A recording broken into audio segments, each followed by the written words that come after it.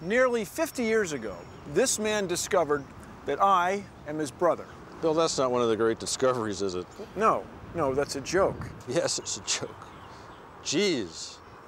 No, no, not G's. Genes. When we're conceived, we inherit the genetic characteristics of our parents. But how are those characteristics transmitted from one generation to the next? That's our first great discovery.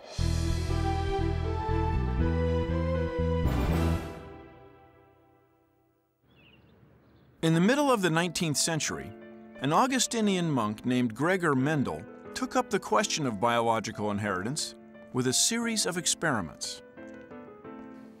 Mendel had a naturally inquisitive mind and a profound love of nature. His scientific interests ranged from research on plants to meteorology and the theories of evolution.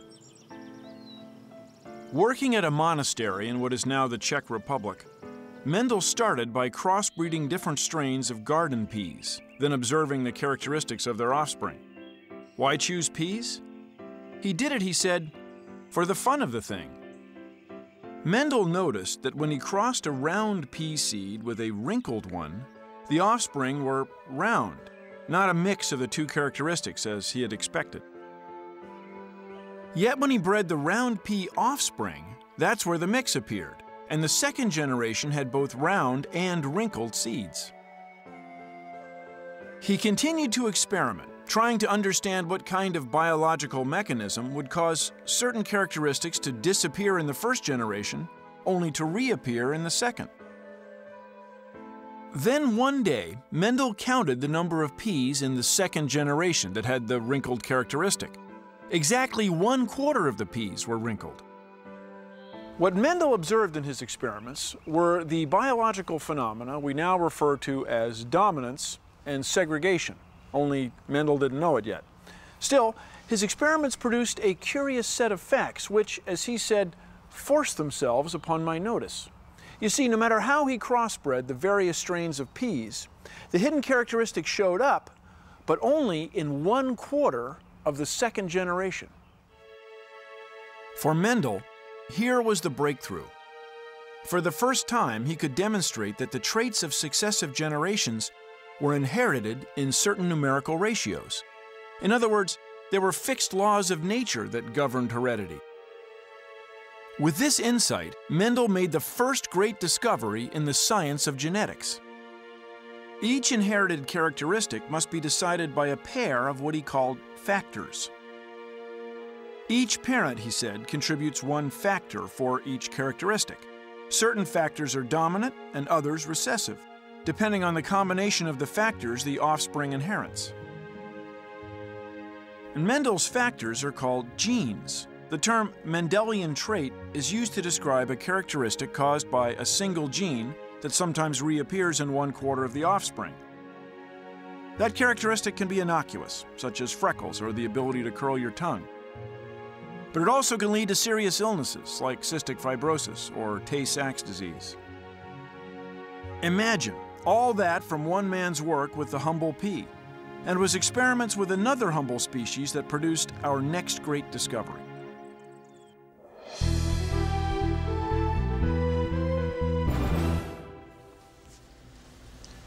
Meet Drosophila melanogaster, the common fruit fly. Its role in genetics research is as important today as it was over a century ago. See, in the early 1900s, scientists began to re-examine Mendel's work on inherited traits. And in 1909, a Danish botanist named Wilhelm Johannsen coined the term genes to describe Mendel's factors. Among the researchers in the new field of genetics was Thomas Hunt Morgan, an independent-minded Columbia University embryologist. In his early work, Morgan was critical of Mendel's conceptions of heredity and even skeptical of Darwin's theory of natural selection. That is, until Morgan started working with Drosophila. Like to ask you. Joseph Gall is a cell biologist at the Carnegie Institution in Baltimore, Maryland. Why did Morgan choose fruit flies? What was going on? Well, I think he chose fruit flies for several reasons, the uh, chief of which were the short generation time so that's very important. The other important thing is that one female fly can give uh, several hundred offspring. So to do genetics, first of all, you need a lot of data. You need a lot of flies, a lot of individuals, and you don't want to wait forever to get them. You can have many generations per year and thousands and thousands of offspring. The story goes that one day, shortly after Morgan started breeding Drosophila for his experiments, a striking mutant appeared in his lab. A fly with distinctive white eyes. He decided to breed it with a female fly that had ordinary red eyes, curious to see what the offspring would look like. Two weeks later, he had his answer. One by one, the first generation offspring appeared. All of them had red eyes. Thinking that the white eyes might be a hidden characteristic similar to what Mendel had observed, Morgan waited to see what would happen in the second generation. Sure enough, the characteristic skipped a generation. This time, some of the flies had red eyes and some had white eyes. But then Morgan saw something else. All of the flies with white eyes were male. At the time, it was known that the gender of a species is determined by two of the rod shaped structures found in the cell nucleus the chromosomes. For example, human females have two X chromosomes. Human males have one X chromosome and one Y chromosome. Morgan realized that the gene responsible for the white eyes must somehow be associated with the fact that male flies have only one X chromosome. This meant that in the females, the gene responsible for red eyes on one of the X chromosomes might be overshadowing the gene for white eyes on the other. To prove his point, Morgan bred thousands of fruit flies and studied their inheritance. Morgan's observations were absolutely fundamental to everything about genetics because what Morgan and his students showed was that the genes are located in a linear order on the chromosomes. Today, geneticists know that diseases like hemophilia and muscular dystrophy are caused by defective genes on the X chromosome. It's believed that other diseases, like cancer, may be linked to damaged or defective chromosomes. For his discovery, Morgan was awarded the Nobel Prize for Medicine in 1933, the first scientist to win it in the field of genetics. So And Drosophila melanogaster? Thanks to the fruit fly's contribution to Morgan's work, Drosophila is enshrined as one of the basic animal models in experimental science, distinguishing characteristic of and its legacy led to our next great discovery. So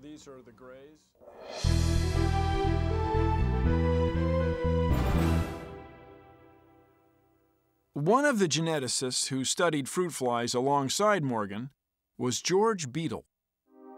Working in Paris in 1935, Beadle detected evidence that the inherited trait of eye color in Drosophila might be the result of genetically based chemical reactions. Beadle pursued his investigations at Stanford University with colleague Edward Tatum. For their experiments, Beadle and Tatum selected another simple organism, Neurospora crassa, bread mold. They chose mold because it was easy to grow with simple nutritional needs bread, air, and water. Neurospora also had a single set of chromosomes, which allowed the researchers to observe genetic changes easily. Knowing that X rays damage the chromosomes, Beadle and Tatum irradiated the mold, which caused mutations in the genes of its spores. These mutant genes were unable to produce the nutrients necessary for the mold to grow. However, when they added the nutrients, some of the spores began to germinate. For Beadle and Tatum, this was a breakthrough moment. They realized that the irradiated spores failed to produce the essential nutrients because their genes were defective. This was significant. It meant that genes were responsible for more than just passing inherited traits from one generation to the next. They also directed the production of enzymes that the mold depended on for its survival. Beadle and Tatum's breakthrough is known as the one gene, one enzyme hypothesis. Lactose intolerance is an example of a human metabolic condition caused by a single missing enzyme. Missing because some people have inherited a gene that fails to produce lactase and are unable to digest the sugar in dairy products. This disorder can be easily treated by taking tablets containing the missing enzyme. Thanks to Beadle and Tatum, we gained a fundamental understanding of what genes do, and the stage was set for a new generation of remarkable genetic discoveries.